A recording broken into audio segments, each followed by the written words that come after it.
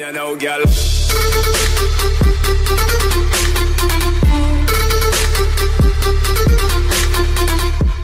Nhan sắc của Nu Phước Thịnh qua ống kính phóng viên Hàn Quốc Hình ảnh của nam ca sĩ phụ sóng khắp các trang báo Hàn và còn được ví von với những biệt danh ấn tượng.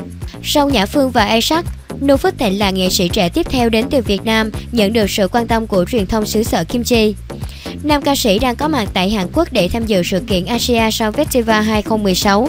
Nhờ vẻ bề ngoài bảnh bao điển trai không hề kém cạnh các Mỹ Nam nước bạn, giọng ca đổi thay khiến ống kính máy ảnh phải dõi theo mình kể từ khi xuất hiện tại khu vực thảm đỏ cho tới lúc lên sân khấu biểu diễn. Một số trang thông tin giải trí đã đăng tải những bài viết riêng và không quên đính kèm loạt ảnh cực đẹp của nam ca sĩ. Chưa hết, Nu Phước Thịnh được ví như Biren phiên bản Việt, chiến binh hip hop Việt Nam. Công sức xây dựng hình ảnh trong lần sang hàng này của Nu Phước Thịnh và ekip đã không làm người hâm mộ thất vọng. Có thể nói, Nu Phước Thịnh đã đại thắng trong chuyến đi này. Xin chân thành cảm ơn các bạn đã dành chút thời gian để theo dõi kênh của chúng tôi. Nếu thích bất cứ video nào, các bạn có thể like và share, nhưng đừng quên nhấp đăng ký kênh miễn phí để các bạn có thể theo dõi được nhiều video hấp dẫn khác từ chúng tôi. Xin chào và hẹn gặp lại!